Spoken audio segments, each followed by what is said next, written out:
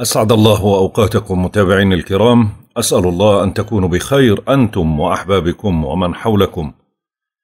طبعا اليوم توقعاتنا ليوم الخميس 27 8 القمر ما زال موجود بالقوس في منزلة البلدة لغاية ساعات المساء وهي المنزلة جيدة للثبات والربح والسلامة. اليوم لأنه أغلب اليوم رح يكون القمر بالقوس بنشعر بالابتهاج وبنجد الناس أكثر مرحا وبننطلق على سجيتنا وبيتجه تفكيرنا من خلال تفاؤلنا لعالم الفلسفة والدراسة الدينية ومنميل للترحال والسفر والرياضة والمغامرة وبوسعنا اقتراض المال ودراسة لغة جديدة والاستمتاع بهواية ما وتجربة الحظ والتخطيط لرحلة ما أو إجراء مكالمة مع شخص في مكان بعيد.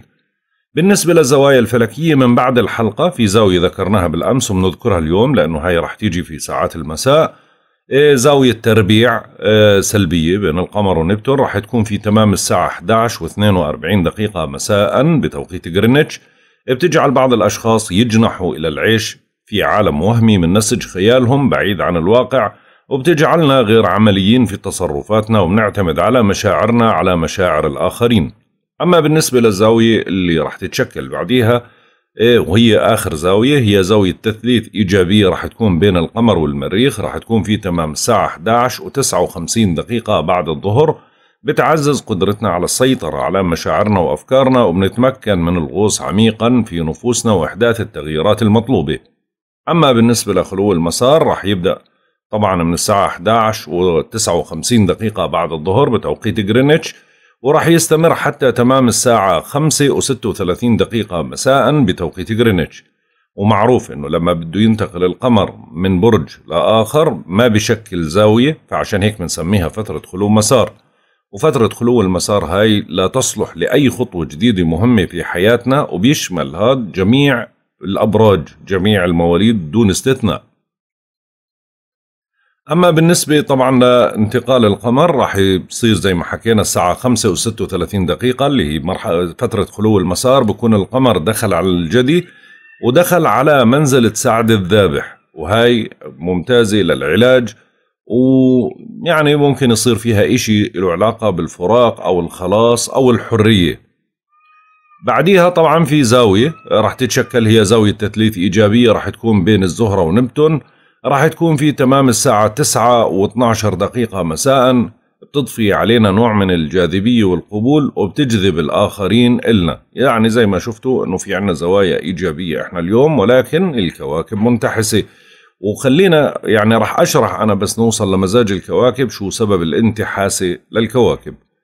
أما بالنسبة للقمر بما أنه راح يكون في الجدي معناته خلو المسار القادم راح يكون يوم 29 8 راح يكون في تمام الساعة 7 ونص مساء وحتى اليوم التالي اللي هو يوم 30 8 يعني أول ساعات بتيجي بعد منتصف الليل أو أول دقائق. فعشان هيك الساعة 12 و 39 دقيقة بتوقيت غرينتش اللي هو من يوم 30 8 بصير عندنا آه، اللي هو بتوقيت الأردن بساعات الفجر. بصير القمر أنه انتقل لبرج الدلو. أما بالنسبة لعمر القمر القمر الأحدب تسعة أيام في تمام الساعة 12 وثلاث دقائق ظهرا بتوقيت غرينتش بصير 10 أيام نسبة الإضاءة 70% أما بالنسبة لمزاج الكواكب وطباع الكواكب لهذا اليوم وبدكم تركزوا معي مزبوط في هاي الأمور لأنه هاي هي اللي بتحدد التوقعات. الشمس في العذراء حتى يوم 22 9 المزاج سعيد جدا. طبعا لأنه أول إشي الشمس وهي موجودة آه، في في العذراء. عامله زاويتين أو ثلاث زوايا. أول يعني الزاويه مع مع أورانوس زاوية مع المريخ آه، اللي هو تثليث. وزاوية راح تكون برضه مع القمر في أول دخوله للجدي. فعشان هيك نقدر نصنفها إنه سعيدة جدا. أما بالنسبة للقمر القمر في القوس وفي الجدي صحيح أنه في الجدي يعني وباله يعني من المفروض أنه يكون منتحس ولكن اليوم الغريب راح يكون سعيد برضو بنسبة عالية جدا بتصل تقريبا نحكي 50% سبب السعادة أنه القمر لما بيكون داخل على الجدي راح يشكل زاويتين برضو تثليث. زاوية التثليث مع الشمس زي ما حكينا وزاوية التثليث راح تكون برضو مع القمر الأسود ومع المريخ. أما بالنسبة لعطارد عطارد في العذراء حتى يوم خمسة تسعة برضو مزاجه سعيد ونسبة سعادته راح تصل تقريبا بحدود الستين في المية يعني بين خمسين وستين في المية خلال هذا اليوم. والسبب برضو إنها هي راح تشكل زاوية تثليث مع القمر وبرضو في زاوية آه، زاوية راح تتشكل آه، عفوا زاوية التثليث تاعت عطارد راح تكون مع الكواكب اللي موجودة بالجدي. يعني راح تكون مع المشتري تقريبا أولها وبعدين راح تصير مع بلوتو ومع ومع الزهره صحيح بتراجعوا ولكن هاي بتعطيه فرصة لسعادة الكوكب. وبرضه راح يشكل زاوية تثليث ثانية راح تكون بينه وبين أورانوس. أما بالنسبة للزهرة صحيح إنه في زوايا بطيئة والزوايا البطيئة هاي إيجابية زي ما حكينا اللي هي راح تتشكل مع نبتون. ولكن نبتون بتراجع. فهي يعني شوي الزاوية ما بتعطيه القوة الكاملة له وبرضه الزهرة نفسه بشكل زاوية تسديس برضه بتيجي مع عطارد. المشكلة في الزهرة في مكانه هذا بشكل ثلاث زوايا تقابل مع الكواكب اللي موجودة اللي هي المشتري وبلوتو وزحل اللي بيتراجعوا بالجدي. وبشكل برضه زاوية تربيع بتيجي مع المريخ. فعشان هيك نسبة الحظوظ تاعته بتنزل. وبصير منتحس بطبعه مش سعيد بطبعه. فعشان هيك بعطي مشاكل بعكس ما بعطي نوع من أنواع الحظوظ. أما بالنسبة للمريخ في الحمل لغاية يوم تسعة تسعة بعدين بيبدأ عملية التراجع. الآن بلش يبطأ بحركته. يوم آه خمسة تسعة ببلش يبطأ أكثر بتبلش آثار التراجع توضح على جميع الأبراج. يوم ستة تسعة الأعراض الكاملة للتراجع بتبلش واضحة بقوتها الكامل. لأنه دائما قبل الانتقال أو عند عند بداية التراجع قبلها بثلاث أيام أربع أيام بتبلش آثاره السلبية. الآن إحنا في اليوم آه، بما إنه المريخ اليوم بشكل عندي أنا أكثر من زاوية. أول إشي زوايا التربيع مع الكواكب اللي موجودة بالجدي آه، هاي يعني سلبية لحالها. الزاوية تاعت وبرضه التربيع اللي بشكلها مع آه، الزهرة. هاي برضه زاوية سلبية. ورغم إنه هو بشكل زوايا برضه زوايا التثليث زي ما حكينا مع الشمس وزاوية التثليث مع القمر بخلي مزاجه متقلب. فعشان هيك أكثر ناس رح يعانوا من تقلب مزاج المريخ اللي هم مواليد العشرية الثالثة من مواليد برج الحمل. هدول رح يود يعني الوضع عندهم سيء جدا لأنه مش قادرين يفهموا إيش اللي قاعد بصير إيش الأحداث اللي قاعدة بتصير معهم إيش التقلبات اللي بتصير بشكل عنيف جدا. ما بين إيجابية وما بين سلبية وتقلب بالمزاج عالي جدا وخصوصا على مستوى بيت الشخصية وبيت حدية الطبع أما بالنسبة للمشتري المشتري بيتراجع هو بطبيعته بيتراجع وهو في مكان مش مناسب لإله وبمشكل زوايا برضو المقابلة حكينا مع الزهرة وزوايا التربيع وبتراجع يعني منتحس. فعشان هيك بنعطيه بدرجة الانتحاسة تبعته ما بين 10 ل 12% والمريخ برضه نفس الدرجة. إيه، زحل نفس الشيء لأنه بنفس مكان المشتري نعطيه برضه منتحس. المشتري زي ما حكينا في الجدي بيتراجع لغاية يوم 12 9 يعني ما ضللوش كم يعني تقريبا لنصف الشهر وخلص انتهى بنتهي عملية التراجع وبعدين بصير حركته سريعة فهو منتحس زحل في الجدي بيتراجع لغاية 29 9 آه، يعني في شهر تسعة في أحداث كثيرة راح تصير على فكرة. برضه مزاجه منتحس أورانوس في الثور زي ما حكينا بيتراجع وبرضه بشكل زوايا ولكن هاي الزوايا إيجابية بتقلل من حديته. وبما أنه زوايا أنها راح تكون تثليث راح تيجي مع الشمس وتثليث مع عطارد وتثليث برضه مع المشتري فهاي بتعطيه نوع من أنواع التقلب بالمزاج أو بتخفف من حديته فبنقدر نعطيه نوع من أنواع السلبية البسيطة.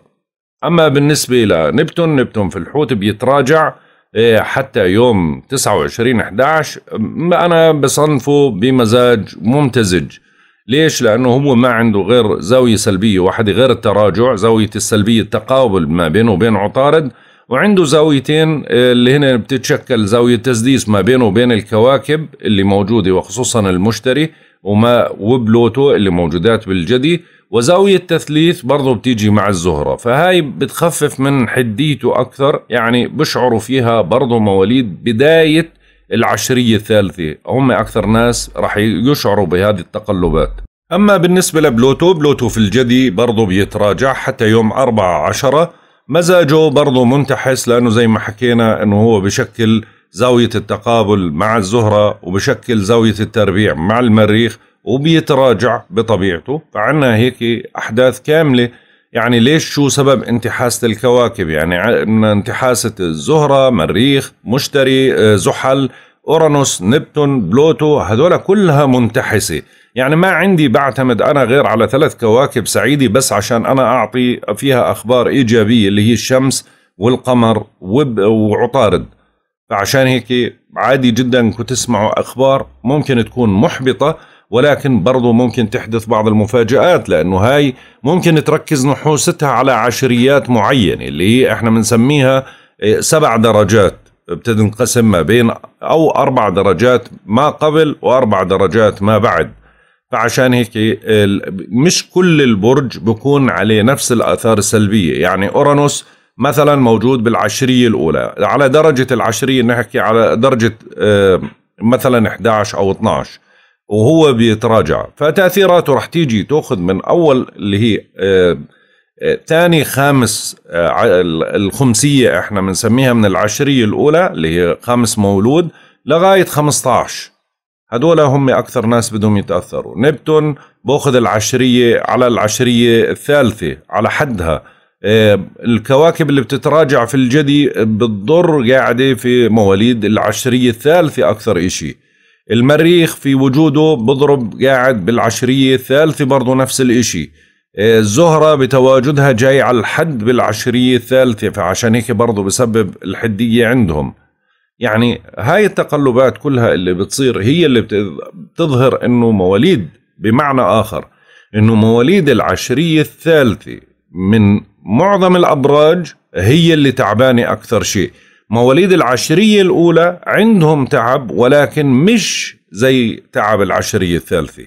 فعشان هيك لما بنيجي بنعطي توقعات بتطلعوا فيها بالتدريج. كل ما أنت كنت من العشرية الثالثة كل ما كان الوضع عندك صعب. العشرية الأولى مش كثير العشرية الوسطية اللي هي عشر أيام من مواليد كل برج هدول يعني في عالم في كوكو تاني.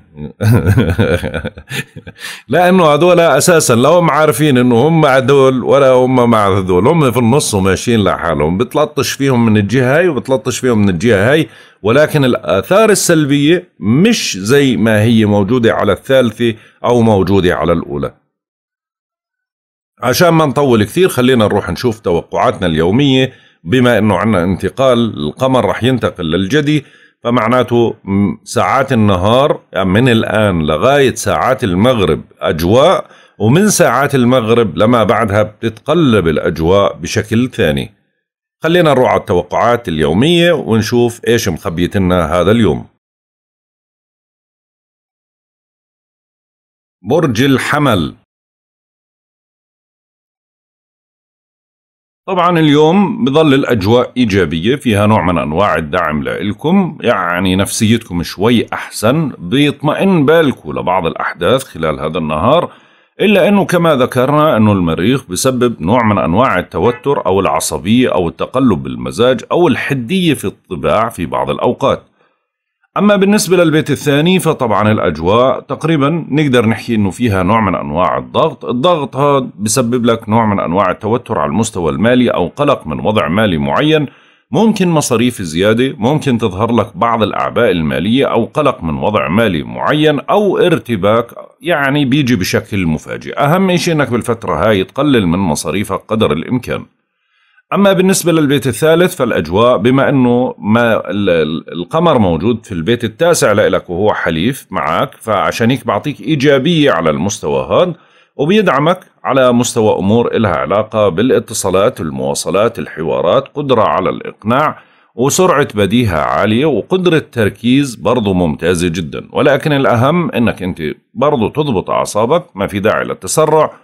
إيه بنصحك إذا كان عندك امتحان أو مقابلة أنك تركز بشكل جيد وما في داعي لا التهور أو الاعتماد على الحظوظ بشكل مبالغ فيه. ممكن اليوم يكون لك تعامل أو تعاون ما بينك وبين أخ أو جار.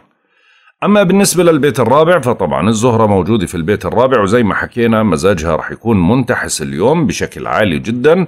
فتوقع أمور إلها علاقة بالبيت أو أحداث أو اضطرابات أو تقلبات بالمزاج أو نقاش عائلي معين أو ظهور مسألة إلها علاقة بالبيت شوي ممكن إنها تلفت انتباهك أو تكون أنت طرف فيها.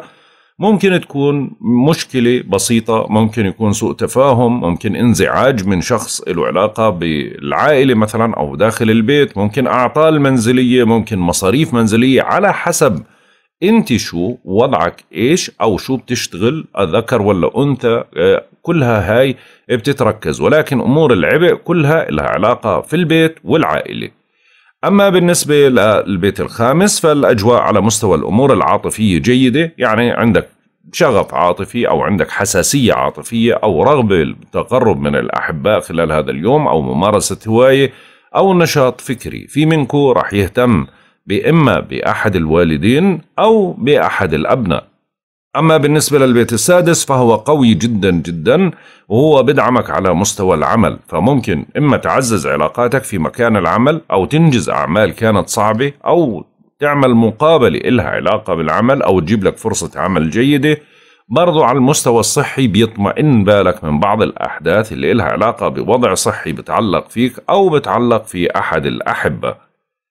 أما بالنسبة للبيت السابع فالأجواء تقريبا نقدر نحكي على مستوى بيت الشراكة. يعني شيئا ما الأجواء فيها نوع من أنواع الإيجابية بتعزز من قدرة التواصل ما بينك وبين الشركاء. إن كان شركاء مال أو شركاء عاطفي بتعمل في نوع من أنواع الانسجام ما بينكم. أو إنه على يعني آه على آه آخرها هيك ممكن تصير الأجواء روتينية فقط لا غير.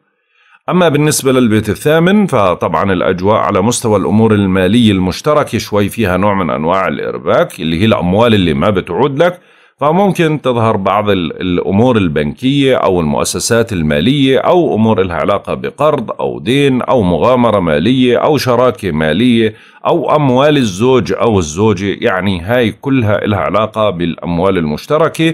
فممكن تظهر أي مشكلة إلها علاقة في هذا البيت أو عبء أو خلاف أو نقاش على هذا الموضوع. أما بالنسبة للبيت التاسع فطبعا القمر موجود فيه لغاية ساعات المساء فبتنشطوا في مجال الدراسة والسفر والاتصالات لا سيما البعيدة بتشعروا بقوة العاطفة وتجاوب أحبائكم معكم. في ساعات المساء طبعا القمر راح ينتقل لبيتك العاشر. تنجحوا في المحافظة على سمعتكم. ومصالحكم الاجتماعية ولكن بما أنه هذا الجدي يعني هو بيتك العاشر فبنقول لك دير بالك من المجازفات والمغامرات وتشويه السمعة ودير بالك من الخلافات ابتداء من المساء مع زملائك أو رؤسائك بالعمل أو مع بعض العلاقات.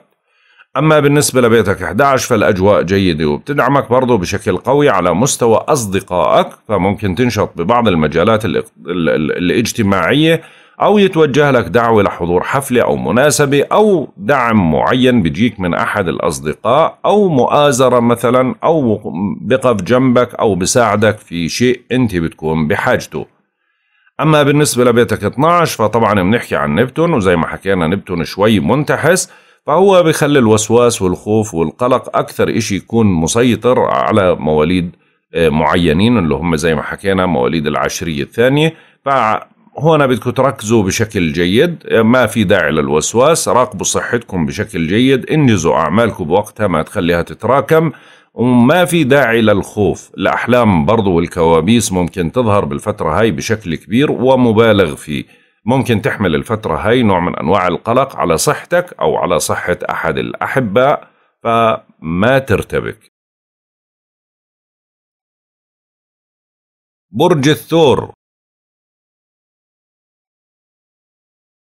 طبعا بالنسبة لبرج الثور الأجواء ما زال فيها نوع من أنواع السلبية ما لسه في ضغط لأنه القمر ما زال في الدرجات المقابلة يعني في البيت الثامن لإلك هو بيت مش حليف لإلك في ساعات المساء رح ينتقل يصير في البيت التاسع فهو بدعمك بشكل أقوى. فحاول أنه اليوم خلي الأجواء شوي فيها نوع من أنواع الروتينية على المستوى النفسي حاول إنك تضبط أعصابك قدر الإمكان ما في داعي لا للانفعال ولا للتقلب في المزاج. ممكن تظهر بعض الأحداث بسبب أورانوس اللي بتراجع عندك اللي إلها علاقة بالتقلب السريع في المزاج أو التقلب النفسية بشكل مبالغ فيه. فحاول تضبط أعصابك.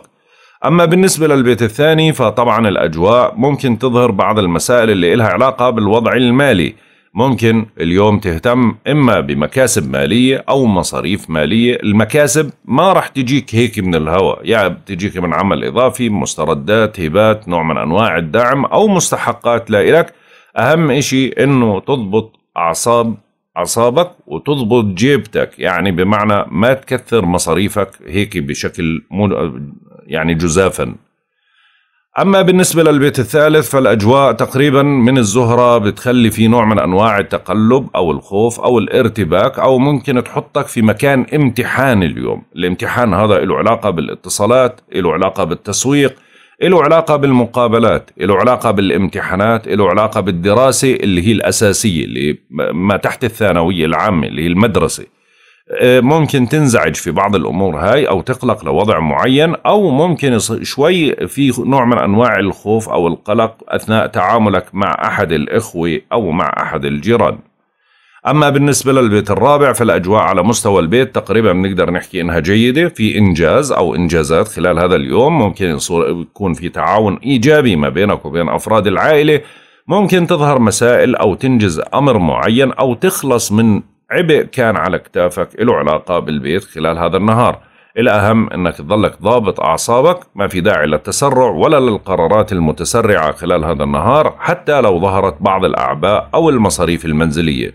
أما بالنسبة للبيت الخامس بيت العاطفة فهو قوي جدا جدا خلال هذا النهار. فعشان هيك بعطيك من عطارد وبعطيك من الشمس قدرة على التواصل مع الأحبة الرغبة بتواصلك معهم قدرة على الإقناع عالي جدا للحبيب. إذا كان في مشكلة بتقدر تقنعه بوجهة نظرك برضه بتعطيك فرصة من الحظوظ قوية جدا. على المستوى العاطفي قوي على مستوى الحظوظ قوي. على مستوى برضو الاهتمام الشخصي بنفسك والاهتمام التجميلي أو بهواية معينة أو ممارسة هواية أو علاقتك اللي بتكون ممتازة ما بينك وبين أحد الأبناء أو أحد الوالدين أو بتعمل لك تواصل إيجابي في هاي المجالات. ممكن اليوم يعني يكون في ثمار جيدة على المستوى العاطفي إن كان ارتباط أو إن كان موضوع له علاقة بتطوير مسألة حب أو حل مشكلة كانت بالسابق ما بينك وبين حبيب. أما بالنسبة للبيت السادس فطبعا الأجواء بتركز على أمور إلها علاقة بالعمل ما فيها أي سلبية ولكن أنه ممكن أعباء أو تظهر بعض الخلافات أو النقاشات ولكن عندك قدرة لتجاوزها وحلها. في بعض الأمور الصحية اللي ممكن تظهر لبعض مواليد برج الثور اللي شوي بتكون بحاجة للمتابعة أو للمراقبة. أما بالنسبة للبيت السابع فطبعا الأجواء زي ما حكينا روتينية على طريقة التعامل ما بينكم وبين الشركاء ولكن ديروا بالكم من سوء التفاهم أو الحدية أو الحقد على تصرفات الشريك أو الزوج أو الزوجة بالفترة هاي غير الأحبة. يعني الحبيب إشي والزوج إشي آخر. فعشان هيك بدكم تضبطوا أعصابكم أثناء تعاملكم مع شركائكم. أما بالنسبة للبيت الثامن فطبعا القمر موجود فيه لغاية ساعات المساء بتعيدوا تنظيم أموركم المالية المشتركة والفرصة متاحة لمكسب مالي مع هيك بدكم تخففوا من النفقات المتصاعدة. من ساعات المساء القمر بصير في البيت التاسع لإلك بتنشطوا في مجال الدراسة والسفر والاتصالات لا سيما البعيدة وبرضه بتعطيكم حيوية أكثر وقدرة على إنجاز كثير من الأمور يعني الأجواء رح تصير إيجابية بشكل ملموس.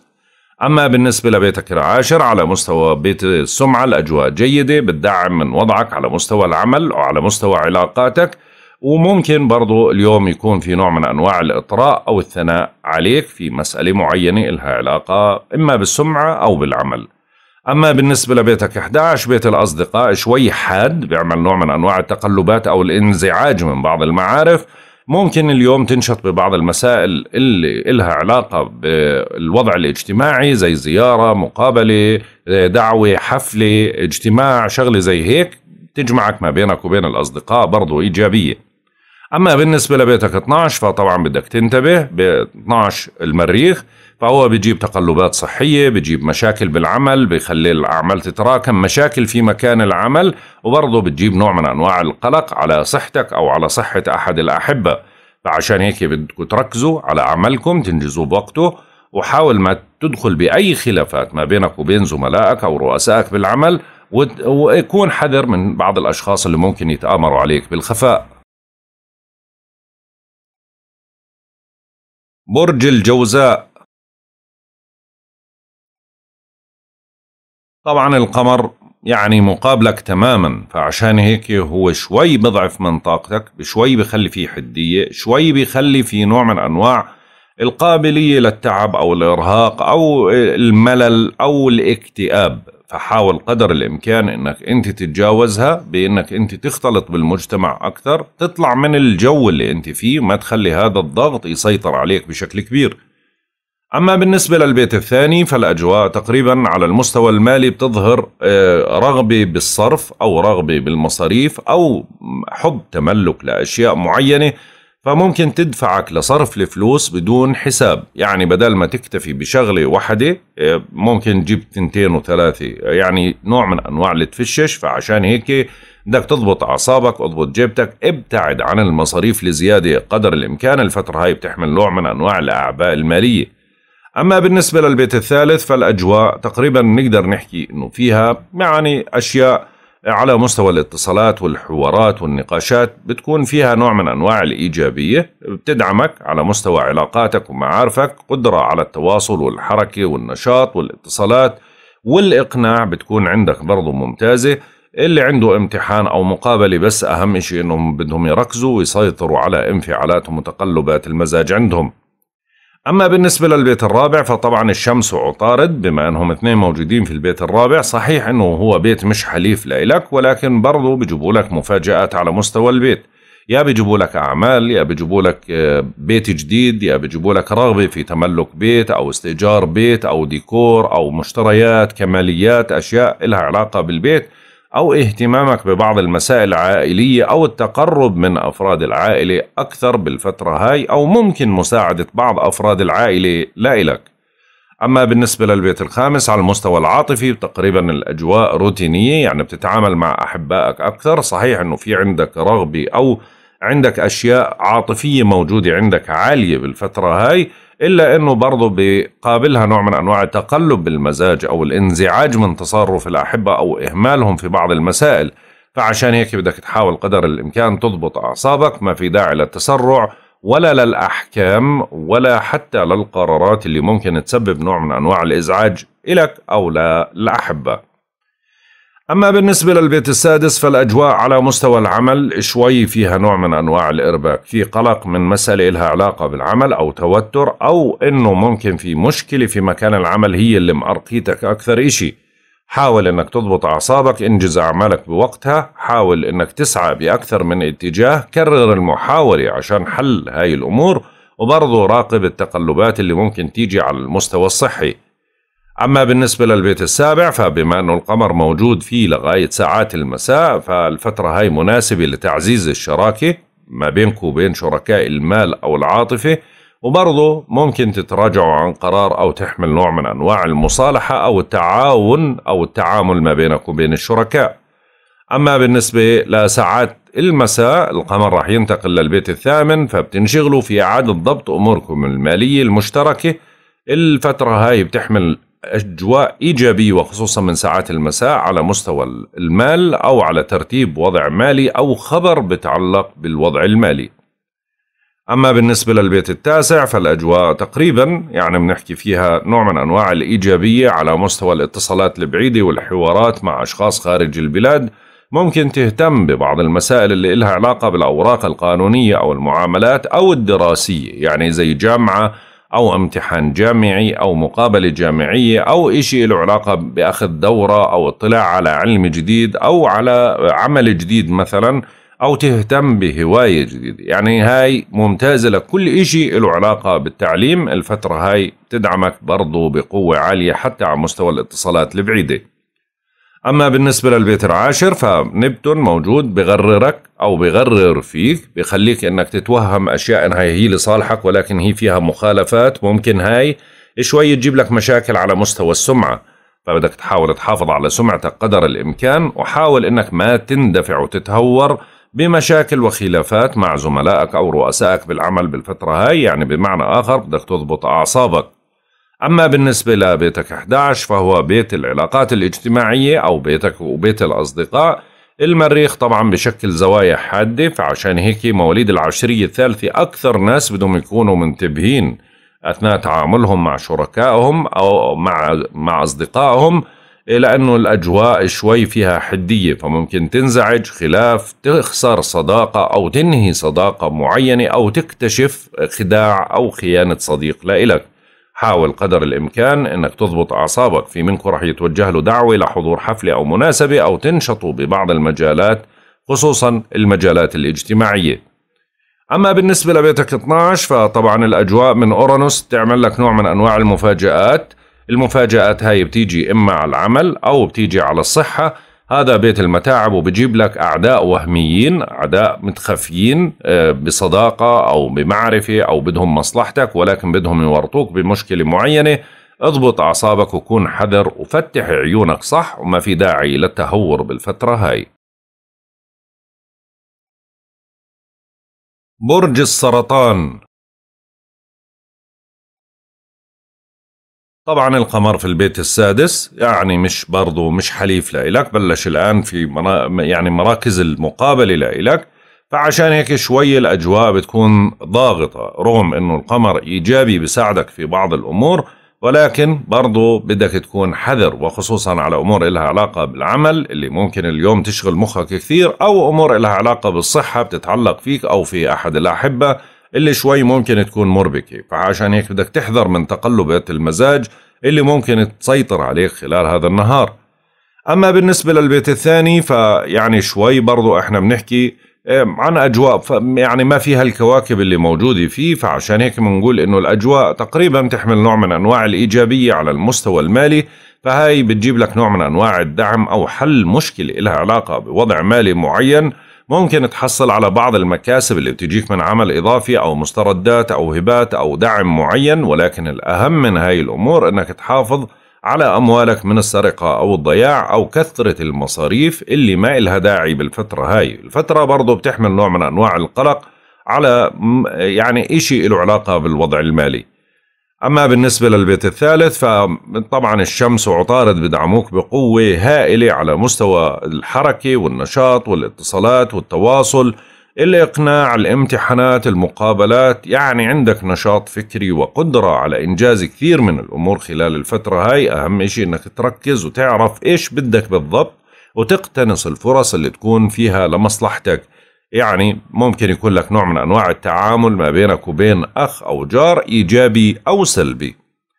أما بالنسبة للبيت الرابع فالأجواء تقريبا نقدر نحكي على مستوى البيت يعني في نوع من أنواع النشاط العائلي أو موضوع عائلي أو خبر عائلي شوي يكون ممكن مزعج أو مربك لك بالفترة هاي ممكن تظهر بعض الخلافات على مستوى البيت أو اهتمامات زي تصليحات ترميمات واجبات عائلية إيه، أمور إلها علاقة بالعقار أو إلها علاقة بسيارة إلها علاقة يعني إلها علاقة بالأمور البيتية والعائلية وما يتعلق فيها.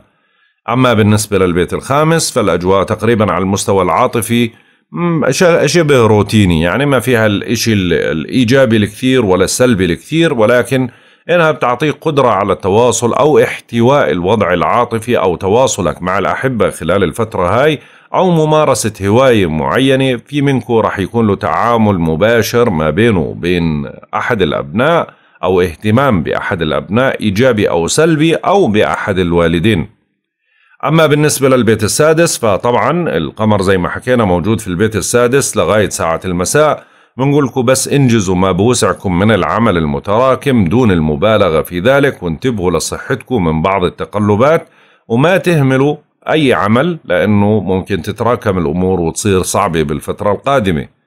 من ساعات المساء طبعا القمر رح ينتقل لمقابلك مباشرة اللي هو للجدي. ممكن تنجحوا بنوع من أنواع التفاهم مع شركائكم بما أنه إيجابي.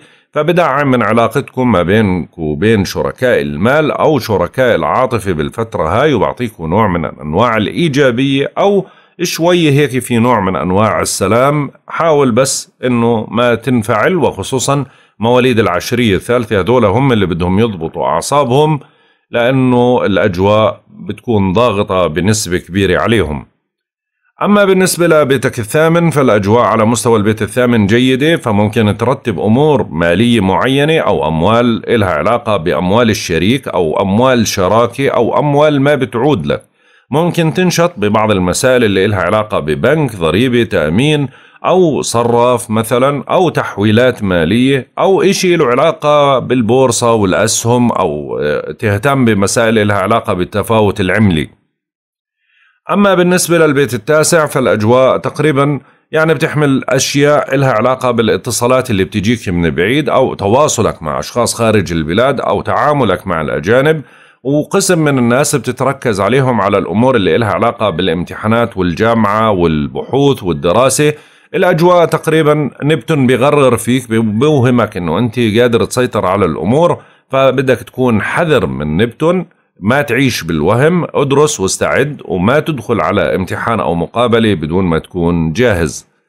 أما بالنسبة للبيت العاشر فطبعا المريخ موجود فيه فمن نرجع بنقول لك ما تشوه سمعتك ما تجازف ما تغامر ما تخاطر ما تدخل بخلافات مع زملائك أو رؤسائك بالعمل واحذر أثناء تعاملك مع الأشخاص اللي أو المعاونين لك في مكان العمل أو مع أحد علاقاتك العامة.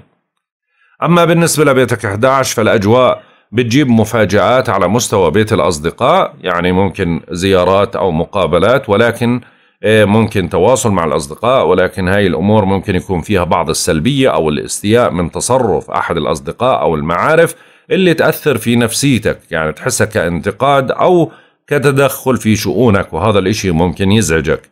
أما بالنسبة لبيتك 12 فالأجواء على مستوى البيت المتاعب جيدة ما في أي مشاكل ممكن تنجزوا أعمالكم بشكل جيد وممكن تهتموا برضو بصحتكم بشكل جيد أو بصحة أحد الأحبة. برج الأسد.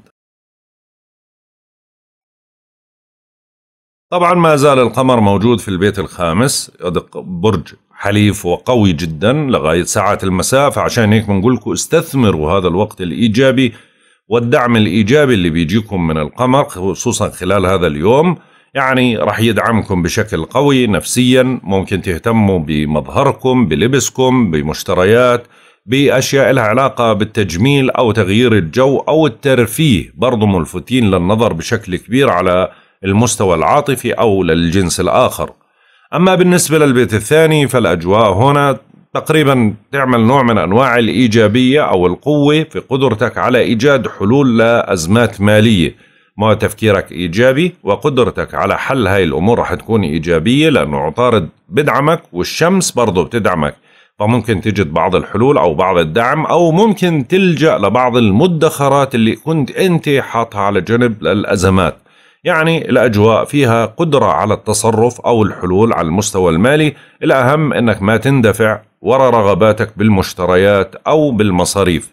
أما بالنسبة للبيت الثالث فالأجواء جيدة وبتدعمك على مستوى التنقلات والاتصالات والحوارات والتواصل مع أشخاص خارج البلاد أو الاهتمام بمسائل لها علاقة بالتنقلات الداخلية أو التواصل مع المحيطك أو أمور لها علاقة بممارسة هواية معينة.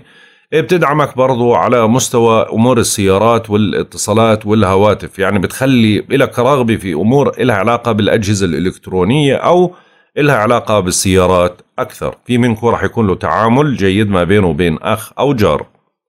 أما بالنسبة للبيت الرابع فالأجواء على مستوى البيت روتينية بتتعامل بشكل روتيني ما في أي شيء لا إيجابي ولا سلبي على حسب طبيعتكم تتعاملوا يعني ممكن تظهر بعض الخلافات عند أشخاص من برج الأسد وممكن تكون الأجواء إيجابية على البيت. فعشان هيك لأنه ما في أي تأثير كواكب فيه فأنت على طبيعتك بتتعامل على مستوى بيتك عقارك عيلتك. أما بالنسبة للبيت الخامس فزي ما حكينا القمر موجود لغاية ساعات المساء. من الآن لساعات المساء فبتشتد رغبتكم في التقرب من أحبائكم وتعزيز العلاقة معهم. ممكن تمارس هواية معينة أو تنشط في مجال له علاقة بالخروج أو تغيير الجو أو تعيش غرامياتك بالفترة هاي. أهم إشي أنه أثناء تعاملك مع الأحبة كون حذر يعني لبق وتسيطر على انفعالاتك. ممكن إنه برضو تشتاق لأحد الأحبة أو ترغب بالتواصل أو الإطمئنان عن حبيب على حبيب سابق يعني تيجي رغبة للتواصل معه. وفي منكم راح يكون له تعامل ما بينه وبين آه، أحد الأبناء أو أحد الوالدين. أما بالنسبة للبيت السادس فالأجواء تقريبا هنا فيها نوع من أنواع الضغط لأنه هنا من ساعات المساء القمر راح ينتقل للبيت السادس. فبدكم تنتبهوا هذا الجدي صحيح القمر إيجابي بيدعمك على مستوى العمل وعلى مستوى الصحة ولكن تقلبات الجدي على العشرية الثالثة من مواليد برج الأسد بدهم ينتبهوا أكثر لصحتهم وبدهم ينتبهوا أكثر لعملهم. أما بالنسبة للبيت السابع فالأجواء تقريبا بنقدر نحكي إنه في نوع من أنواع الإيجابية على مستوى آه، أو روتيني بمعنى آخر بلاش نقول إيجابية على مستوى تعاملكم ما بينكم وبين الشركاء. شركاء المال أو العاطفة أو ما بينكم وبين الأزواج بتتعاملوا على طبيعتكم على طبيعة العلاقة على طبيعة تكوينكم ووضعكم الاجتماعي. يعني ما في أي شيء نعطي فيه مخاوف أو نعطي إيجابيات على مستوى بيت الشراكة ولكن إجمالا مواليد الأسد كلهم مسيطرين على وضع الشراكة وعلاقتهم بينهم وبين الأزواج. أما بالنسبة للبيت الثامن فالأجواء على مستوى الأموال المشتركة ممكن تظهر بعض الأعباء أو القلق على مسائل لها علاقة ببنك ضريبة تأمين مكاسب تيجي من أموال الغير أمور لها علاقة بمستردات مالية أو أرباح أو هبات أو ممكن دعم يجيك بشكل مفاجئ. إيه، ممكن تتوهم إنه في أشخاص ممكن إنها تساعدك ولكن هي بتتحايل عليك. ممكن تستغلك بنقاط معينة أو تقصر معك في مسائل معينة. هذا إشي عادي بدك تكون معتاد. ما تتوهم إنه واجب عليهم إنهم ينفذوا أوامرهم لأنه أموالهم. أما بالنسبة للبيت التاسع فالأجواء تقريبا بنقدر نحكي إنه فيها نوع من أنواع الضغط أو الموضوع المزعج له علاقة بشيء بتعلق في خارج البلاد أو أشخاص خارج البلاد أو أجانب. أو أمور لها علاقة بامتحانات أو استيراد وتصدير أو مراسلات يعني ممكن تنزعج من بعض المسائل اللي لها علاقة بهاي الأمور حتى بمستوى الدراسات العليا بتعطيك نوع من أنواع التسرع. فاحذروا أثناء تقديمكم للامتحانات تستعدوا بشكل جيد ما تدخل على مقابلة أو مناقشة بدون ما تستعد وتراجع حالك أكثر من مرة وانتبه على الطرق المفتوحة أو الشوارع المفتوحة أثناء تنقلاتك وأثناء قيادتك للسيارة. أما بالنسبة للبيت العاشر بيت السمعة من أورانوس بيحدث بعض المشاكل اللي بتيجي بشكل مفاجئ فاحذر ما تخالف القوانين وما تشوه سمعتك وما تدخل بمشاكل على مستوى العمل ما بينك وبين زملائك أو رؤسائك بالعمل. أما بالنسبة لبيتك 11 فهو جيد على مستوى الأصدقاء وعلاقاتك ومعارفك ممكن تنشط بشكل إيجابي خلال هذا النهار. أما بالنسبة لبيت المتاعب فهو بعطيك أوهام أو بعطيك انزعاج أو حساسية عالية. على مستوى العمل على مستوى الصحة وعلى مستوى صحة أحد الأحبة. اضبط انفعالاتك وعصبيتك. برج العذراء. طبعا بالنسبة للبيت الأول اللي أنت اليوم بكامل الطاقة عندك صحيح إنه القمر ما زال موجود في البيت الرابع ولكن كل ما اقتربنا لساعات المساء أكثر كل ما شفنا إنه الأجواء بتصير لصالحك أكثر ونفسيتك بتتغير أكثر وأكثر وبتنشحن بطاقة أكثر وأكثر. عشان هيك بنقول لك حاول إنك تستغل الفترة هاي بكل طاقاتها بكل إيجابياتها المتوفرة إنها تكون لصالحك. من ساعات المساء الاهتمام راح يكون آه، أكثر على مستوى التجميل أو قص الشعر أو لباس أو أمور لها علاقة بتغيير المظهر وحاول تغير مظهرك أو تهتم بنفسك شوي عشان تغير نفسيتك. أما بالنسبة للبيت الثاني فالأجواء على مستوى الأمور المالية تقريبا فيها بعض الفرص المالية خلال هذا النهار. ممكن تحصل بعض المكاسب تيجي من عمل إضافي أو مستردات أو هبات أو نوع من أنواع الدعم ولكن حاول إنك تقلل من مصاريفك اللي ما لها داعي. أما بالنسبة للبيت الثالث فهو جيد وبيدعمك على مستوى برضو الاتصالات والحوارات والتواصل مع الأشخاص وقدرتك على الإقناع. بس اضبط عصبيتك. ممكن اليوم تهتم بمسائل إلها علاقة بالأجهزة الإلكترونية أو الإلكترونيات أو أمور إلها علاقة بالسيارات أو بعضكم راح يكون له تعامل ما بينه وبين أخ أو جار. أما بالنسبة لبيتك الرابع فطبعا القمر موجود فيه. بوسعكم إدخال أي تعديل مطلوب على مسكنكم حتى ساعات المساء. ممكن يصير في نوع من أنواع التقارب أو الاهتمام بمسألة عائلية أو مسألة لها علاقة بأفراد العائلة أو مسألة لها علاقة إجمالا في البيت. حاول أنك أنت تنجزها بشكل جيد حاول إنك ما تهمل الأشياء الصغيرة اللي لها علاقة في البيت وخلي في نوع من أنواع التعاون أو التعامل الإيجابي ما بينك وبين أفراد العائلة. إذا ظهرت بعض المسائل البيتية زي أعطال أو مسؤوليات أو التزامات بدك تكون حذر وحريص أثناء إنجازها.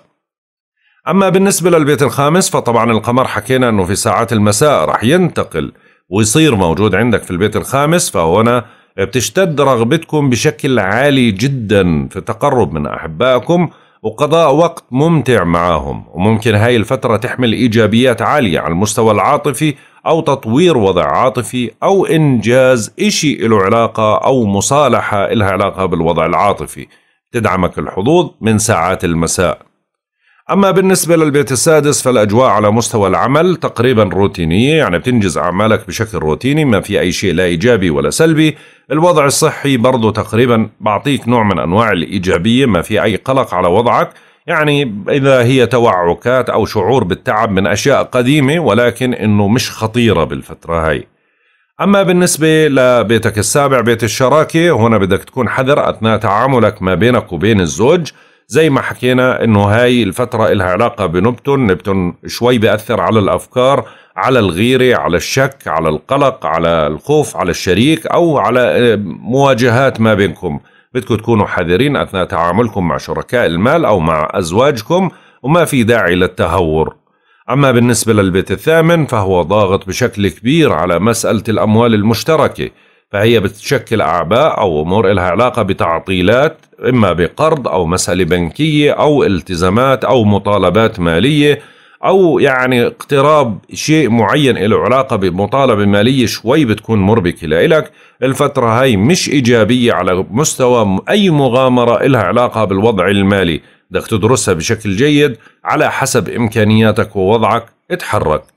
أما بالنسبة للبيت التاسع فالأجواء بتجيب مفاجآت على مستوى الاتصالات البعيدة أو أشخاص خارج البلاد أو بلدك الأم أو شيء له علاقة بسفر أو له علاقة بمراسلات أو امتحانات جامعية. يعني على حسب أنت شو وحدة من هدول بتنطبق عليك.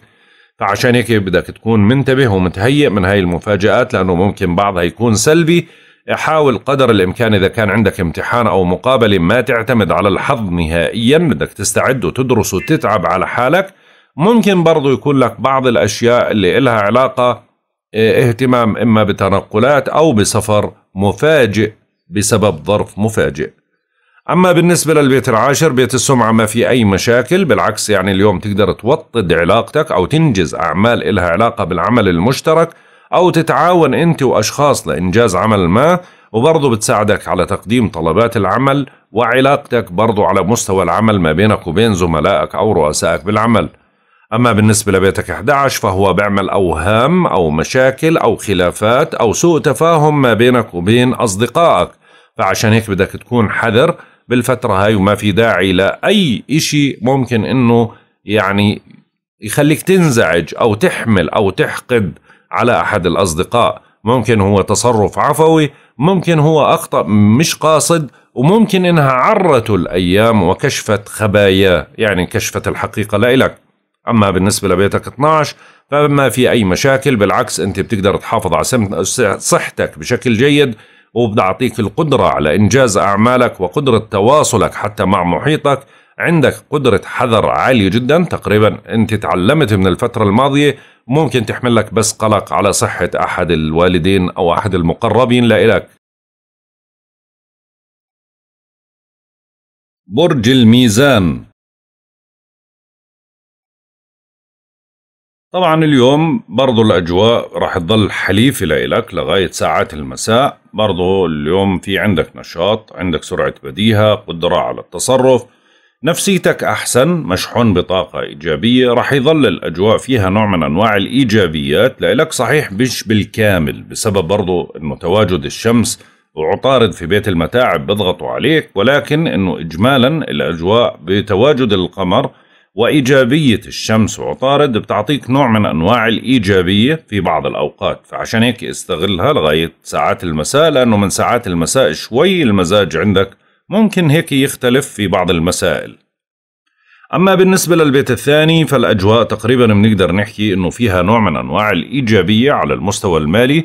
ممكن تهتم ببعض المسائل أو ممكن إنه تجد بعض الخيارات اللي لها علاقة بتطوير وضع مالي أو تحصيل مكاسب مالية أو إشي بيجيك من عمل إضافي أو مستردات مالية أو هبات أو تهتم ببعض الديون اللي بتحاول إنك تحل الضغوطات تاعتها. ولكن أهم إشي إنك تقلل من مصاريفك وتحافظ على أموالك من السرقة والضياع.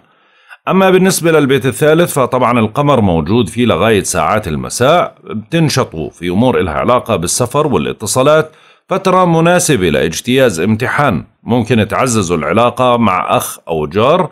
من ساعات المساء بتفضلوا التركيز على مصالحكم البيتية والعائلية لأنه القمر رح ينتقل من البيت الثالث للبيت الرابع وهو تربيع معكم فرح تظهر بعض المسائل البيتية أو العقارية أو الأمور العائلية بشكل مفاجئ وممكن يكون اهتمامكم عالي على مستوى البيت أو إشي بتعلق بأحد أفراد العائلة.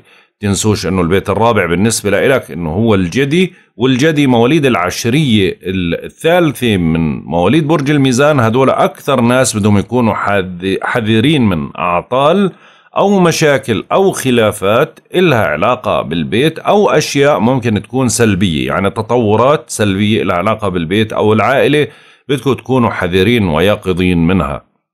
أما بالنسبة للبيت الخامس فالأجواء على المستوى العاطفي تقريبا بنقدر نحكي فيها نوع من أنواع الإيجابية بتعزز من قدرتك على التواصل مع الأحبة أو إنجاز مسائل لها علاقة بالحبيب. ممكن تهتم بمسألة مثلا هواية مثلا إشي تجميلي إشي له علاقة بالاهتمام بالنفس أكثر. آه، اهتمامك بأحد الأبناء أحد الوالدين أو التواصل معهم أو الاشتياق لهم ممكن تتذكر مواضيع لها علاقة بعلاقة عاطفية راحت أو بأحبة غادروا البلد أو غادروا الحياة.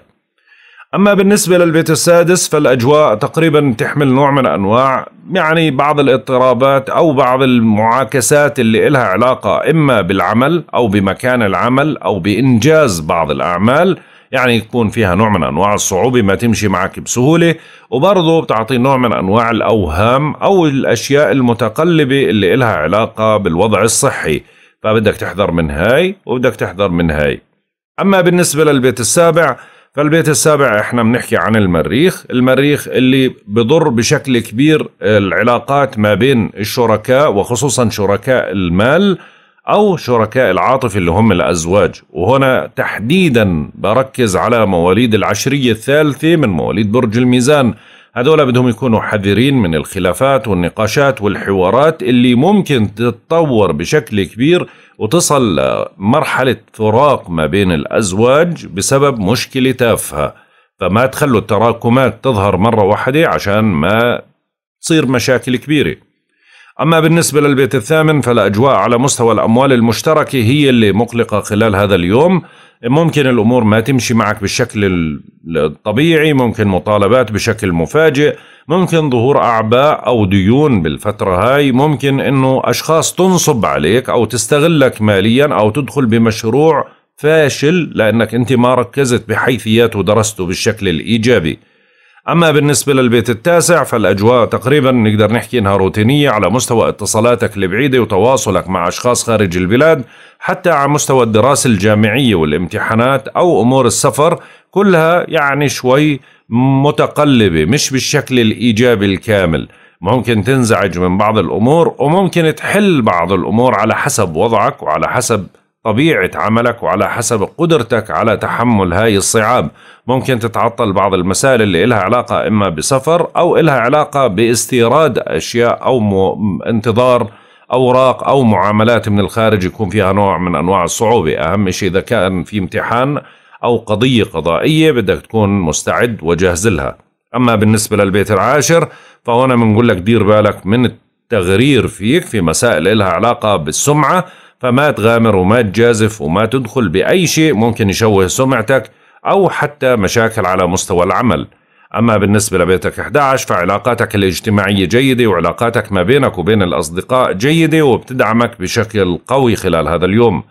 أما بالنسبة لبيتك 12 فزي ما حكينا بدك تضلك حذر من مسائل لها علاقة بالعمل وبرضه مسائل لها علاقة بالصحة. فممكن تظهر بعض المسائل الصحية المفاجئة لك أو عمل يتراكم أو مشكلة صحية بتتعلق في أحد الأحبة. برج العقرب. طبعا الأجواء برضو فيها نوع من أنواع الإيجابية لإلك وكل ما اقتربنا لساعات المساء كل ما شعرت أنه الأجواء صارت أحسن وأحسن. اليوم آه، طبعا في عندك اهتمام شخصي أو اهتمام نفسي بحالك. برضو عندك قدرة على التواصل عالية جدا عندك قدرة على الحوار عالية جدا.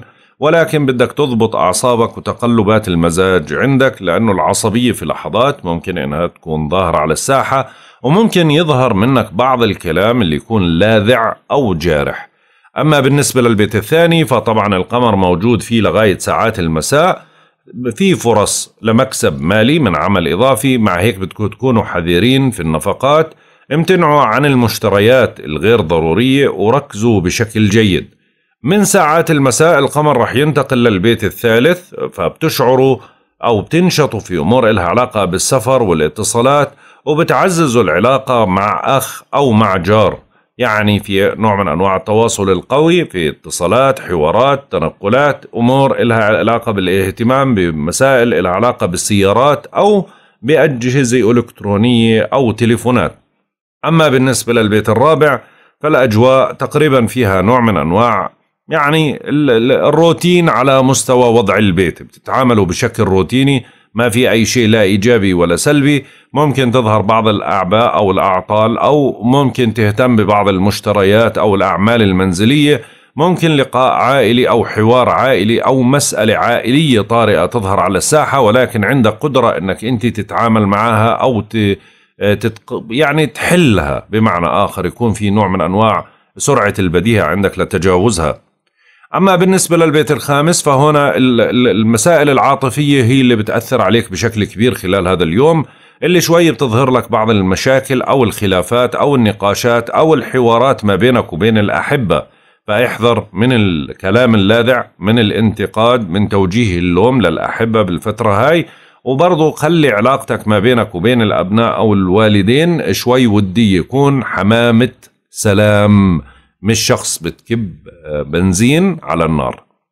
أما بالنسبة للبيت السادس فالأجواء تقريبا على مستوى العمل ممكن تظهر بعض الخلافات أو النقاشات أو ممكن بعض الأعباء أو أعمال تكون كثير بدها اهتمام منك. الأجواء فيها نوع من أنواع الصعوبة أو فيها نوع من أنواع يعني الأشياء اللي بتعطل عليك بعض المسائل اللي لها علاقة بالعمل. ممكن يكون في خلاف أو نقاش حاد ما بينك وبين أحد الزملاء أو أحد الزبائن برضو على المستوى الصحي بدك تراقب وضعك الصحي من بعض التقلبات اللي ممكن تصير الفترة هاي. أما بالنسبة للبيت السابع على مستوى بيت الشراكة المالية والعاطفية في مفاجآت اليوم ممكن تصير يعني خلاف مفاجئ نقاش مفاجئ حدية مفاجئة تقلب بالمزاج مفاجئ حوار حاد جدا ما بينك وبين الشريك يعني يتصاعد الخلاف بشكل مفاجئ آه، على أتفه الأسباب. حاول تضبط أعصابك ما في داعي للحساسية الزيادة وما في داعي أنك تكبر الخلاف زيادة. أما بالنسبة للبيت الثامن فالأجواء روتينية على مستوى الأموال المشتركة يعني نشاطاتك طبيعية بتتحرك وبتحاور وبتنجز أعمالك بشكل روتيني. ممكن تنجز بعض المسؤوليات اللي لها علاقة بالأموال المشتركة زي بنك ضريبة تأمين مؤسسات مالية أو تحاول تعالج مسألة لها علاقة بالديون. أهم شيء أنك تحافظ على أموالك من السرقة والضياع أو أشياء لها علاقة بالأعباء على المستوى المالي. أما بالنسبة للبيت التاسع فبنقول لك دير بالك أثناء تنقلاتك حواراتك نقاشاتك احذر أثناء تقديمك لامتحان ممكن يجيك بشكل مفاجئ أو حتى على مستوى آه، أشياء لها علاقة بالدراسة. يعني مناقشة أو جامعة أو تعليم أو أكاديمية كل الأمور هاي بدها تركيز. ممكن يظهر خلاف أو مشكلة أو مشاحنة ما بينك وبين شخص خارج البلاد أو تنزعج من خبر بيجيك من خارج البلاد. أما بالنسبة للبيت العاشر على مستوى بيت السمعة إلى أجواء تقريبا مسيطرة عليها بتتعامل بشكل روتيني في كل الأمور هاي. ممكن الفترة هاي تعطيك دعم على مستوى تقديم طلبات للعمل أو مقابلات عمل أو استغلال بعض المعارف لمساعدتك أو العلاقات لمساعدتك زي واسطة لحل شيء معين. ممكن توطد علاقتك بشكل كبير ما بينك وبين زميل أو رئيسك بالعمل أو تسمع كلام إطراء خلال هذا النهار. أما بالنسبة لبيتك 11 فهو بدعمك على مستوى المجال الاجتماعي فبتنشط بمسائل لها علاقة بالأصدقاء أو لقاءات أو دعوة لحضور حفلة أو مناسبة أو تواصل مع صديق أو إنهاء خلاف أو مشكلة مثلا مع صديق أو ممكن إنه اليوم تتعرف على أصدقاء جدد. أما بالنسبة لبيتك 12 بيت المتاعب ما في أي مشاكل بالعكس عندك قدرة لإنجاز أعمالك واهتمام كامل بالأعمال ممكن ما تخلي الأعمال تتراكم عندك قدرة لإنجازها أول بأول في منكم رح يهتم ببعض المسائل الصحية اللي بتتعلق فيه أو تتعلق في أحد الأحبة نوع من أنواع الاطمئنان أو الزيارة أو التفقد أو الواجبات الاجتماعية. برج القوس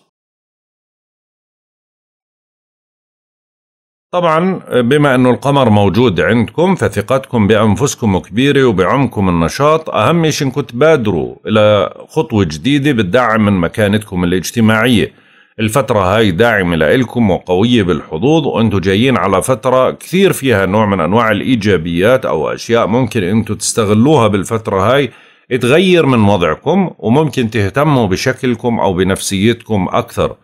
أما بالنسبة للبيت الثاني فما زالت الأمور المالية وخصوصا على العشرية الثالثة ضاغطة بشكل كبير. بتعمل أزمات أو ممكن تراكم بعض المصاريف أو المتطلبات المالية أو الدفعات.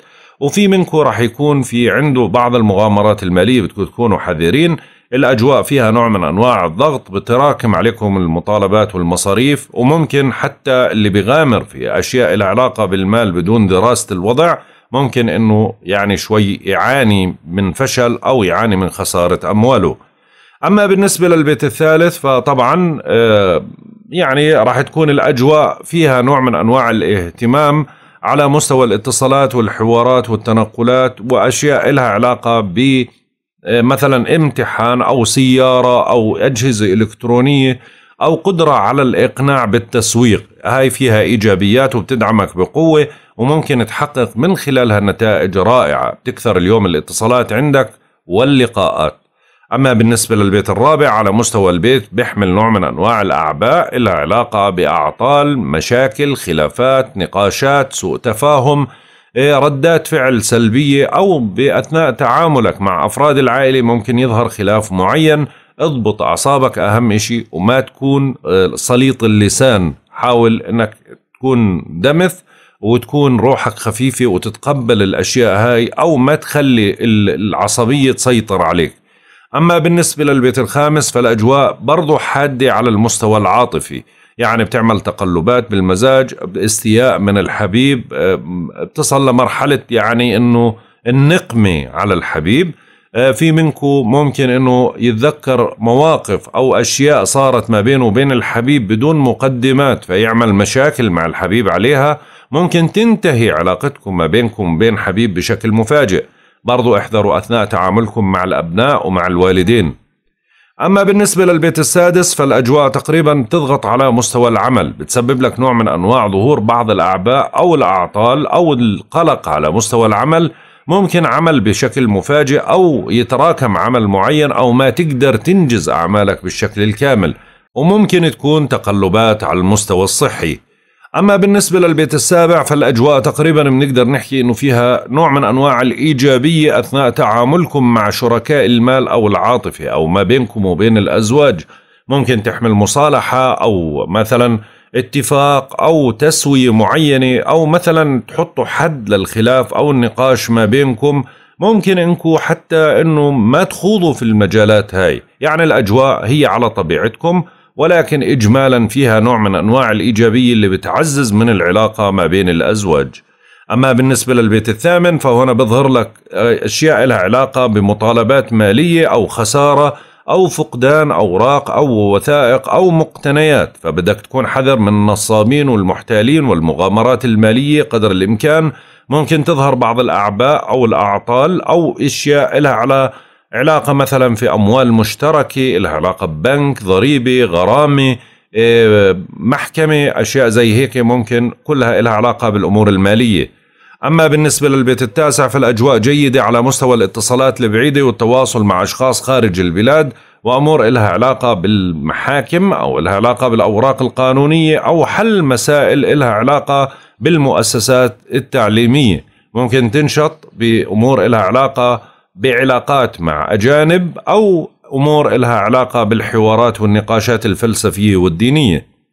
أما بالنسبة للبيت العاشر فهنا بنقول لك دير بالك من أشياء لها علاقة بتشويه السمعة رغم أنه الأجواء إيجابية ودعميتك بشكل قوي من آه، الشمس وعطارد آه، ممكن تعزز من علاقاتك ومعارفك وتستغل بعض المعارف في إنجاز بعض الأمور وفي منكم رح يهتم بتقوية سمعته أو الشهرة في منصب معين أو في مكان معين ولكن الأهم أنك توطد علاقتك على مستوى العمل لأنه هاي الفترة برضو بتحمل لك فرص كبيرة على مستوى العمل.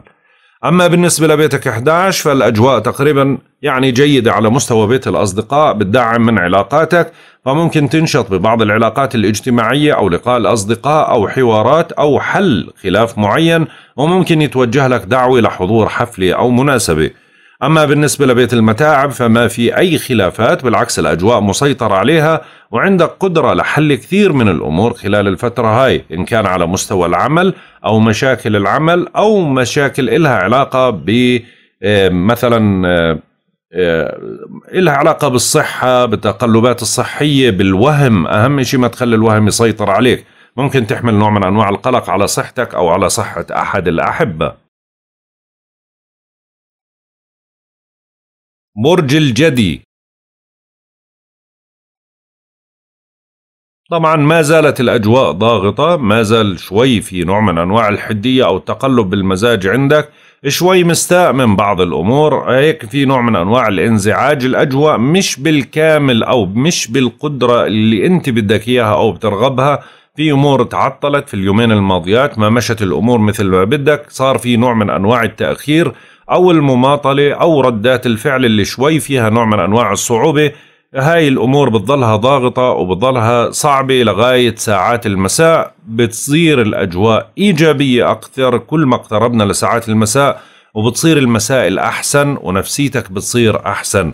فعشان هيك حاول إنك تساير الأمور بشكل روتيني لحديت ما نوصل لساعات المساء عشان الأجواء تصير إيجابية. وكرر المحاولة للاشياء في الأشياء اللي تعطلت عشان تقدر تنجزها خلال الفترة هاي.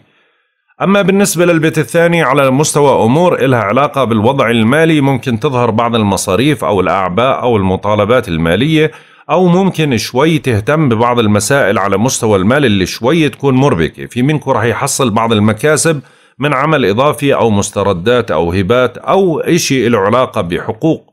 أما بالنسبة للبيت الثالث فاليوم برضو بيحمل نوع من أنواع التسرع بالقرارات والعصبية والحدية بالطباع والانزعاج. أهم شيء أنك تنتبه أثناء تنقلاتك أثناء حواراتك مع الإخوة والجيران وبرضو على مسائل إلها علاقة بالدراسة والامتحانات. ما تدخل على امتحان وأنت مش مستعد أثناء تسويقك لشيء معين حاول تركز عشان تكون واضح بطرحك. أما بالنسبة للبيت الرابع فالأجواء ما زالت فيها نوع من أنواع الضغط على مستوى البيت أو العقارات وخصوصا لمواليد العشريه الثالثة. هدول أكثر ناس بيعانوا من الأعطال أو الأعباء أو النقاشات أو الخلافات أو الجدالات أو أشياء لها علاقة بالبيت بالمنزل بالعائلة. هاي الأشياء اللي أنتم بدكم تكونوا حذرين منها بالفترة هاي وما تهمل أثناء يعني تعاملك مع أمور إلها علاقة بالنيران أو إلها علاقة بأعمال المطبخ. أما بالنسبة للبيت الخامس فالأجواء تقريبا نقدر نحكي بتظهر بعض المفاجآت على المستوى العاطفي. ممكن تزعجك أو ممكن تقلب مزاجك أو ممكن تظهر خلاف ما بينك وبين إما حبيب أو أحد الأبناء أو أحد الوالدين. فحاول أنك تضبط أعصابك قدر الإمكان. ما في داعي للتصعيد. ما تستسلم لتقلبات ومفاجآت أورانوس اللي بتيجي بشكل مفاجئ. فأنت تثور ثورة عارمة والقمر لسه بمكان حساس لإلك فتكون المشاكل مثلا ما إلها حل إلا لفترة طويلة. فتضيع فرص الفترة القادمة الإيجابية اللي ممكن تدعم من موقفك. أما بالنسبة للبيت السادس فالأجواء روتينية على مستوى العمل والصحة. يعني اهتمامك بالعمل بالصحة بشكل روتيني بدون لا إيجابي ولا سلبي بتتعامل على حسب طبيعتك. فحاول قدر الإمكان تنجز أعمالك بوقتها واهتم برضو بشؤونك الصحية. أما بالنسبة للبيت السابع فالزهرة طبعا بشكل بعض الأعباء اللي إلها علاقة بالشريك. فعشان هيك بتجيب تقلبات أو حدية أو أفكار سودة أو أمور إلها علاقة بالشك والغيرة أو أمور إلها علاقة بمراقبة الشريك بالفترة هاي أو محاولة فرض السيطرة والسلطة عليه. حاولوا قدر الإمكان تضبطوا أعصابكم وهاي الأشياء تمسكوها بشكل جيد ما تخلوها تسيطر عليكم على أساس أنه ما يصير خلاف ما بينكم وبين الشركاء. برضو ديروا بالكم من قضايا قضائية بالفترة هاي. أما بالنسبة للبيت الثامن فالأجواء جيدة على مستوى الأموال المشتركة ما في أي خلاف بالعكس عندكم قدرة لحل كثير من المشاكل خلال هذا اليوم على المستوى الأموال المشتركة ممكن تحلوا مسألة أو تتفاوضوا لجدول الدين أو تسعوا لأمور إلها علاقة بقرض أو أمور بنكية أو ضريبية أو تأمين أو حتى قضايا حقوقية إلها علاقة بالميراث أو إلها علاقة بالنفقة. أما بالنسبة للبيت التاسع فالأجواء دعميتك بشكل قوي على مستوى الاتصالات والحوارات والدراسة الجامعية والامتحانات وبتدعمك برضو بقوة أكبر على مستوى الاستيراد والتصدير والقضايا القضائية والأوراق القانونية. فكلها هاي ممكن تظهر أي مسألة وتكون إيجابية لصالحك بالفترة هاي حاول تستغلها. وإذا بدك تبادر بأي شيء بالفترة هاي ركز على هاي الأمور لأنها هي اللي بتصب في مصلحتك. أما بالنسبة للبيت العاشر فالأجواء تقريبا روتينية على مستوى بيت السمعة. ممكن تنجز بعض الأعمال الروتينية أو تهتم ببعض المسائل اللي بتتعلق بأحد الأصدقاء أو الزملاء بالعمل أو رؤسائك بالعمل. أما بالنسبة لبيتك 11 فهو بدعمك على مستوى العلاقات الاجتماعية. فالفترة هاي ممكن يتوجه لك دعوة لحضور حفلة أو مناسبة أو لقاء أو تواصل مع بعض الأصدقاء أو مساعدة بعض الأصدقاء لإلك أو أنت تبادر بمساعدتهم في مسألة ما. الأهم أنه أنت تستغل علاقاتك لإنجاز بعض الأمور اللي ممكن تكون لصالحك. أما بالنسبة لبيت المتاعب فالأجواء تقريبا بنقدر نحكي إنها روتينية ما في أي شيء لا إيجابي ولا سلبي. أهم شيء إنكم تنجزوا أعمالكم بوقتها ما تراكموا الأعمال عندكم ما تحمل أكثر من عمل مع بعض. راقب وضعك الصحي حاول تأخذ أدويتك بوقتها وحاول إنك أنت تتواصل مع المجتمع بشكل جيد. برج الدلو. طبعا بالنسبة للبيت الأول عندك الأمور جيدة الوضع تقريبا مسيطر عليه نفسيا. إيه، بدكم تحاولوا تنجزوا أعمالكم أو الأشياء المهمة قبل ما نوصل لساعات المساء لأنه بس توصلوا لساعات المساء القمر رح ينتقل لبيت المتاعب عندكم راح تكون فترة فيها نوع من أنواع التعب. فعشان هيك حاولوا تستغلوا من الآن لغاية ساعات الظهر أو العصر إنجاز كل الأشياء المهمة المطلوبة منكم عشان أنه تخلوا الأمور روتينية بالفترة القادمة. حاول تهتم بنفسك أكثر بصداقاتك بعلاقاتك بالفترة هاي بشكل كبير. أما بالنسبة للبيت الثاني فالأجواء على مستوى الأمور المالية ممكن تظهر لك بعض المصاريف أو الأعباء أو الأعطال أو المطالبات المالية اللي بتتطلب منك نوع من أنواع الاهتمام. أهم شيء أنك تبعد عن المصاريف الزيادة حاول تضبط ميزانيتك بشكل جيد ما تغامر وما تجازف بالأمور المالية. أما بالنسبة للمكاسب فبعضكم ممكن يحصل بعض المكاسب اللي بتيجي من عمل إضافي أو مستردات أو هبات مالية.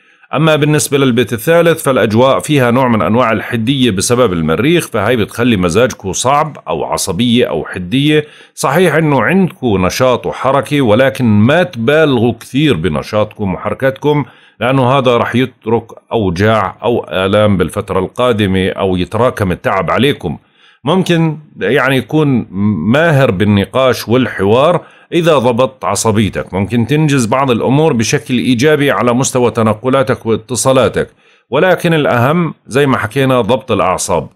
أما بالنسبة للبيت الرابع على مستوى البيت تظهر بعض الأشياء المفاجئة اللي لها علاقة إما بأعمال منزلية أو أعطال أو خلافات أو نقاشات أو مسائل لها علاقة بالبيت شوي بتكون مقلقة.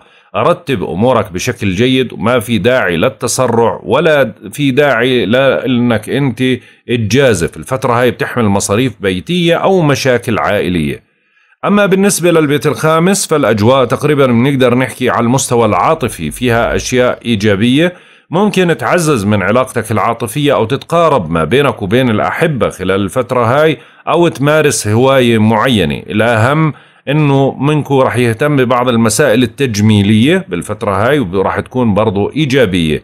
ممارسة هواية أو اهتمام بهواية معينة برضو قوية وممكن برضو تدعم علاقتكم ما بينكم وبين الأبناء والوالدين. أما بالنسبة للبيت السادس فهي بتضغطك على مستوى العمل بتخليك تتشتت أو أكثر من عمل مع بعض أو أنك تحمل أكثر من عمل تحاول تنجزهم مع بعض فبالآخر بتلاقي حالك أنك ما أنجزت شيء. ممكن تظهر بعض الأعباء أو الأعطال أو ممكن بعض التوترات أو التقلبات الصحية لك أو لأحد الأحبة. أما بالنسبة للبيت السابع على مستوى بيت الشراكة اليوم روتيني ما في أي شيء لا إيجابي ولا سلبي. بتتعاملوا على حسب طبيعتكم ما بينكم وبين الأزواج. أو بمعنى آخر أنت بتتعامل روتيني على أساس أنه تبعد عن الخلافات وتريح راسك. أما بالنسبة للبيت الثامن فالأجواء ضاغطة على مستوى الأموال المشتركة. ممكن لك اهتمام كبير بالمسائل الأموال المشتركة زي قرض أو دين أو تحصيل حقوق لإلك أو ميزانية أو أمور بنكية أو أموال تدخل ما بينك وبين مجموعة. يعني هاي أموال مش إلك أو مؤتمن عليها أو أموال جيتك من ميراث مثلا أو من صفقة تجارية أو أموال الزوج أو الزوجة. شوي بدها نوع من أنواع الاهتمام وابعد عن المصاريف لأنها بتحمل نوع من أنواع القلق. أما بالنسبة للبيت التاسع فالأجواء جيدة على مستوى الاتصالات والحوارات والتواصل مع أشخاص خارج البلاد أو الاهتمام ببعض المسائل اللي لها علاقة بالامتحانات الجامعية، أهم شيء إذا كان في امتحان تركز بشكل جيد، ما في داعي للاعتماد على الحظوظ، حاول تنجز أعمالك بشكل جيد وحاول تعمل اتصالاتك بشكل جيد بدون عصبية. أما بالنسبة لبيتك العاشر فالأجواء على مستوى بيت السمعة برضو جيدة وبتدعم من علاقاتك وقدراتك على التواصل مع محيطك مع مجتمعك. ممكن تعزز إشي له علاقة بالعمل أو بمكان العمل أو بعلاقتك مع زملائك بالعمل أو رؤسائك بالعمل. أهم إشي إنك تبعد عن الخلافات والنقاشات والحدية بالتعامل ما بينك وبين زملائك أو رؤسائك بالعمل عشان ما تشوه سمعتك بالفترة هاي. دير بالك من المجازفات والمغامرات ومخالفة القوانين واحذر من بعض المسائل اللي ممكن تتطور لإشي له علاقة بالقضاء أو القانون. أما بالنسبة لبيتك 11 طبعا بالفترة هاي بوسعكم تعزيز صداقاتكم منكم ممكن يحقق أمنية بمساعدة صديق ومنكم ممكن يشارك في مناسبة سعيدة. الفترة هاي بتنشط اجتماعيا بتنشط بلقاءاتك وحواراتك وممكن تنجز أشياء كان صعب إنك تنجزها بالفترة الماضية. عشان هيك بتطلب منك نوع من أنواع الاهتمام أكثر بأصدقائك بعلاقاتك. ممكن إنه يساعدوك أو يكون لك واسطة أو دعم من صديق معين يدعمك أو يدعم تصوراتك بشكل كبير. أما بالنسبة لبيت المتاعب بيت المتاعب طبعا ضاغط بشكل كامل فعشان هيك الفترة هاي بتحمل تعطيل أو تعطيلات أو وعود كاذبة من بعض الأشخاص أو ممكن تتوهم ببعض المسائل أو يوهموك يغرروا فيك في مسألة معينة. انتبه من أشخاص بكيدوا لك أو بيتعاملوا من وراء الكواليس للمكر فيك أو ممكن الإساءة إلك. برضو حاول أنك تراقب صحتك من بعض التقلبات اللي ممكن تظهر بشكل مفاجئ. اللي ممكن يعني تضطر إنك أنت تدخل مستشفى من وراها أو مراجعة طبيب بشكل مستمر. انتبه برضو على صحة أحد الأحبة اللي ممكن تقلق لأجلها أو تهتم فيها بشكل أكبر. برج الحوت. طبعا الفترة إيجابية شيئا ما بتدعمك بشكل إيجابي شيئا ما. القمر برضه بده ينتقل لمكان حليف لإلك برضه بيعزز نقاط بشكل قوية لإلك. كل ما اقتربنا لساعات المساء الأجواء بتصير حليفة وإيجابية أكثر لإلك وبتساعدك في إنجاز كثير من الأمور. عندك اهتمامات اليوم اجتماعية أو اهتمامات بالمحيط عالية جدا. ممكن تنشط باتصالات وحوارات وتنقلات عالية يعني اجتماعيا. أما بالنسبة للبيت الثاني فالأجواء على مستوى الوضع المالي شوي بتعمل نوع من أنواع الضغط ضغط بالمصاريف أو بالالتزامات. بتلاقي إنه شو ما أجاك ناتج يعني ممكن تجيك فلوس مثلا أو تحصل على مكاسب مالية أو هذا ولكن في مصاريف بتقابلها ممكن تأخذها وتأخذ معها كمان. فعشان هيك بدك تحذر من المصاريف الزيادة والأعباء المالية الضغوطات المالية ما تجازف بأموالك وابتعد عن المشتريات اللي ما في إلها داعي. أما بالنسبة للبيت الثالث فالأمور صعبة على مستوى أمور الاتصالات والحوارات والتواصل والتنقلات والسيارات والأجهزة الإلكترونية. يعني أعطيتك كل مواصفات البيت الثالث إيش فعشان هيك بدك تنتبه من المفاجآت السلبية اللي ممكن تظهر على هذا البيت. صحيح هي داعمة لإلك ممكن تتحرك بطلاقة أو بقدرة وتنجز أشياء مهمة بالفترة هاي ولكن العصبية ممكن تظهر الاندفاع ممكن يظهر التهور ممكن يظهر. فعشان هيك بدك ما تعتمد على الحظوظ نهائيا وتعتمد على قدراتك في هاي المسائل.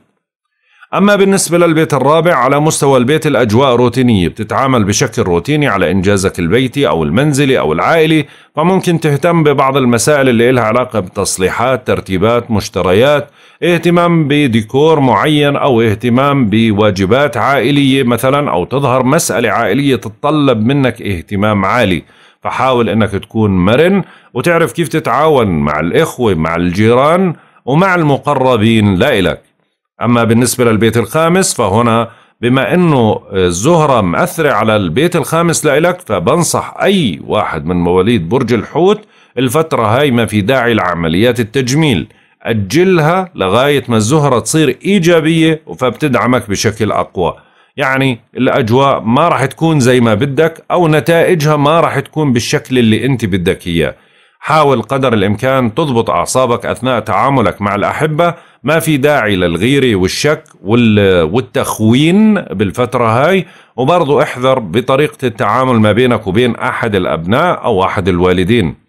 أما بالنسبة للبيت السادس فالأجواء تقريبا بتضغطك على مستوى العمل. ممكن تجيب أعمال مربكة بالفترة هاي أو بعض المسائل اللي لها علاقة بالعمل اللي تسبب لك نوع من أنواع القلق. صحيح عندك قدرة لتجاوزها وعندك قدرة لحلها وبرضو الحظ بدعمك في هاي المسائل أكثر ولكن بدك تكون حذر. على المستوى الصحي الأجواء قاعدة بتتحسن شيئا فشيئا لصالحك رغم إنه البيت السابع اللي موجود فيه الشمس وعطارد بضعف من طاقتك إلا إنه بمنحك لأنه إيجابي قوي فبمنحك بطاقة عالية ممكن يحسن من الوضع الصحي أو سرعة الاستشفاء عندك. البيت السابع طبعا له علاقة ببيت الشراكة المالية والعاطفية فهنا بنقول لك يعني حاول إنك تستغل الفرصة للتصالح والمصالحة والتقارب ما بينك وبين شركاء المال والعاطفة. خلي الأجواء إيجابية وخلي العلاقة إيجابية ما بينكم. الفترة هاي بتعزز من العلاقة مع الشركاء حتى اللي عندهم قضايا قضائية ممكن تكون لصالحهم. أما بالنسبة للبيت الثامن فبرضو على مستوى الأمور المالية المشتركة الأجواء ممكن تحمل بعض المصاريف اللي إلها علاقة إما بالبيت أو إلها علاقة بالصحة. وأحاول أنه برضو ممكن تظهر بعض الالتزامات أو الديون أو الدفعات المقلقة أو أمور إلها علاقة بالبنوك أو الضريبة أو الصرافين مثلا. أهم شيء أنك ما تدخل بمشاريع بدون دراستها بشكل جيد. أما بالنسبة للبيت التاسع فالأجواء بتدعمك على مستوى الاتصالات البعيدة تواصلك مع أشخاص خارج البلاد الامتحانات الجامعية القضايا القضائية أمور يعني تقريبا حليفة لك في كل اللي إحنا ذكرناه. أهم شيء إنك تكون مستعد برضه وما تعتمد على الحظوظ لأنه البيت التاسع خالي من الكواكب. أما بالنسبة للبيت العاشر فطبعا القمر موجود فيه فالفترة هاي مناسبة للي بيبحث عن عمل واللي بيعمل بينجح في الدفع بمصالحه بشكل جيد. وممكن برضو إنكم تحافظوا على إنجازاتكم القائمة وتعززوا أمور إلها علاقة بالسمعة. أما بالنسبة لبيتك 11 صحيح هو مش حليف بيت الأصدقاء ولكن بالفترة هاي لأنه إيجابي ممكن تلتقوا الأصدقاء أو يتوجه لكم دعوة لحضور حفلة أو مناسبة أو لقاء أو تحلوا مسائل إلها علاقة بالأصدقاء. يعني الأجواء ممكن للبعض تحمل نوع من أنواع السلبية على مستوى الأصدقاء مثلا أو خلاف أو نقاش ولكن اجمالا الأمور اليوم فيها إيجابية ممكن تلاقي دعم من بعض الأصدقاء يدعموك أو يدعموا تصوراتك. أما بالنسبة لبيتك 12 فما في أي مشاكل بالعكس عندك قدرة لإنجاز أعمالك والمحافظة على صحتك ومتابعة صحة أحد الأحبة أو زيارة مريض أو حتى شخص ممكن بالسجن تطمئن عليه. هيك بنكون انتهينا من توقعاتنا لهذا اليوم والله أعلم. يا رضا الله ورضا الوالدين سبحانك اللهم وبحمدك أشهد أن لا إله إلا أنت أستغفرك وأتوب إليك. أترككم في رعاية الله وحفظه. إلى اللقاء.